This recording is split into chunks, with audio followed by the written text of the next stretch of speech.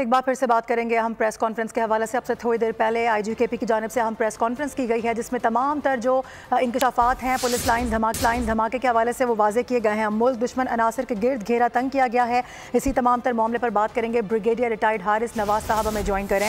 हारिस साहब, यकीनी तौर पर आपने उनकी प्रेस कॉन्फ्रेंस सुनी होगी। सबसे अहम बात इस वक्त जो सामने आ रही है, तमाम प्रेस कॉन्फ्रेंस में जो मुझे लगा कि मैं आपसे पूछूँ, वो ये कि ये बताया गया है कि अफगान फोर्सेज की जानब से उस शख्स को गिरफ़्तार किया गया, लेकिन जो सहूलतकार कार थे, जो हैंडलर्स थे, उनके कहने पर फिर रिहा कर दिया गया। ये बड़ा अहम सवाल है। यही हमारी पाकिस्तान की हुकूमत की, आम फोर्सेज की चीफ आमिर साहब को यही गिला है। अफगान टर्म गवर्नमेंट से कि आप बात के हैं कि आपके लिए हम सब कुछ करते हैं, हम आपसे एक ही डिमांड करते हैं कि please don't let your land utilize by anyone else number two अगर आपने पकड़े ऐसे मुजरिमों को, उनकी इन्वेस्टिगेशन करें, उनको करार वाकई सजा दें और उसके बाद पाकिस्तान को वांटेड है तो कहें, ये नहीं आपका मुजरिम। आप इसकी इंक्वायरी करें और इंसाफ की तरह से पूरी करते हुए सजा ये नहीं किया जाता। फिर सेकेंड अभी एक बात क्लियर हो गई। आप ये देख लें कि हमारी मिलिट्री इंटेलिजेंस और सिविल कॉम्पिटिटिव कितने इम्पोर्टेंट सेलिब्रेशन के साथ ये काम कर रहे हैं। डीप रूटेड कि किस तरीके से मुझे पहुँच रहे हैं, उनको पकड़ रहे हैं। उसके बाद उन नेटवर्क को पकड़ने के बाद फ़ायदा ये होता है कि आपको उसकी और लीड मिलती है कि और इसमें कौन लोग शामिल हैं कौन सहूलतकार है कौन आपके सामने ये मदद करते हैं ताकि उन तक पकड़ा जाए जड़ को पकड़ा जाए। ये बहुत आम बात है। और सेकेंड ये कि हमें अपनी पुलिस को सबको अपनी इंटरनल सिक्योरिटी का ख्याल रखना चाहिए कि आपका सिपाही अगर ऐसे इन्वॉल्व हुआ हुआ है तो वो चेक क्यों नहीं हुआ पहले क्यों नहीं पकड़ा गया? उसकी हरकत देखनी चाहिए। इन अंदर पुलिस वालों को चेक करें। कौन रोज़ाना बाहर जाता है? किसकी मशकूक हरकत हैं? कौन लोगों से मिल रहा है? कैसे मिल रहा है? ताकि फ़ौरन पकड़ लीजिए। इंटेलिजेंस वो है जो हादसों से पहले पकड़ लिया जाए। हम्म। हादसों के बाद पकड़ने के बाद आइंदा भी तो ज़्यादा कर सकते हैं लेकिन बहुत अच्छी पुलिस में जो नुकसान हुआ उसका कौन जिम्मेदार है? ये हमें सोचने की सही।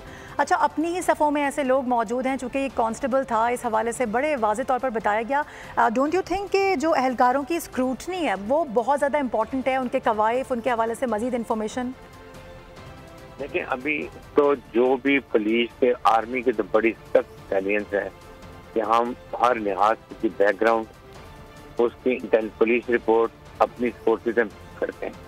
लाइक वाइज पुलिस में जब भर्ती होता है तो उसको भर्ती करने से पहले उसका पूरा रिकॉर्ड होना चाहिए किसका क्रिमिनल रिकॉर्ड तो नहीं है। इसकी फैमिली में वो क्रिमिनल तो नहीं था क्या फैमिली में कोई ऐसे गर्दों में शामिल तो नहीं रहा। ये सारी चीज़ें देखनी चाहिए। हम्म। ये सीखने के बाद जब भर्ती करेंगे तो आधा काम आपको वैसे ही करना सही है। अच्छा भारी साहब, किस तरह का क्राइटेरिया होना चाहिए इन तमाम लोगों की भर्तियों से? पहले क्योंकि अभी एक रिपोर्टर की जानब से सवाल किया जा रहा था, आईजी साहब से तो वो थोड़ा सा नाराज़ भी हो गए कि आपको क्या लगता है कि हम स्क्रूटनीज नहीं कराते हैं या हमें नहीं मालूम होता कि हमारे कौन से लोग कहाँ पर काम कर रहे हैं। तो आप क्या समझते हैं किस तरह का क्राइटेरिया होना चाहिए, किस तरह के कवायफ उनके होने चाहिए सामने, जिससे पता चल सके कि उनके जो माजी में हरकत सकनात हैं, वो क्या रही हैं?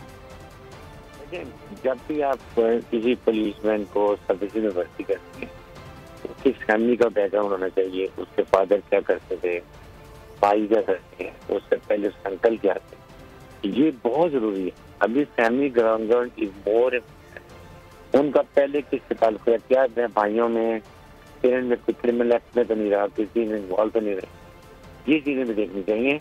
इसमें नाराज़ होने की बात नहीं it is a need of today it is need of day इसलिए इससे कोई कॉम्प्रोमाइज नहीं। और इसके बाद यहाँ में जब वो कमीशन ले भी लेते हैं भर्ती भी हो जाते हैं उसके बाद भी वो चेक हो रहे हैं हम्म। ताकि किसी किस्म की ऐसी हरकत ना हो जिसके बाद आइंदा के बाद हमें अपने अपने ऑफिसर से नुकसान सही। एक और बड़ा इंपॉर्टेंट क्वेश्चन मेरे माइंड में आया था उस वक्त जब मैं ये प्रेस कॉन्फ्रेंस सुन रही थी कि आजकल तो ज़ाहिर टेक्नोलॉजी का दौर है, हर हर चीज़ पर नज़र रखी जाती है। आम आवाम के डाटा बड़ी आसानी से मिल जाते हैं। तो ये वो लोग जो कि एजेंसीज़ में होते हैं, इस तरह के जो महकमे और इदारों में होते हैं आप नहीं समझते कि जो उनके फ़ोन्स हैं, उनको भी कभी कभी टैप करना चाहिए, उससे अंदाज़ा लगाया जाए ताकि ये आइडिया तो हो सके कि इसके कहाँ पर कैसे ताल्लुक आते हैं? क्योंकि ये देखने में आता है कि अक्सर जब इस तरह के शवाहद सामने आते हैं तो जो फ़ोन रिकॉर्ड है, वो सही तरीके से सामने नहीं आ पाता। इस वजह से सहूलतकारों तक नहीं पहुँचा जा सकता। अभी भी जो मोबाइल चिप्स हैं, ये मिस यूज़ होती हैं, गलत इस्तेमाल होती हैं। अक्सर ऐसे होता है कि आप लोग अपने चिप्स अपने मुलाजिम से, गाँव से किसी के ले लेते हैं। That is also very important कि हर इंडिविजुअल जिसके नाम पर की परफॉर्मेंस ले। और बंदा पे जब भी पता चले तो फ़ौरन उसके मुलाजम को पकड़ा जाए उससे पता चल जाए कि ये चिप्स टांग रही थी। ये चीज़ें देखने की है मुझे यकीन है कि गवर्नमेंट अब इसके ऊपर बहुत सख्ती से अमल कर रही है। इस पर कोई कॉम्प्रोमाइज नहीं होना चाहिए। ठीक है हारिस नवाज़ साहब हमारे साथ ही मौजूद रहेगा। सब्सक्राइब करें और बेल दबाएँ ताकि कोई खबर रह न जाए।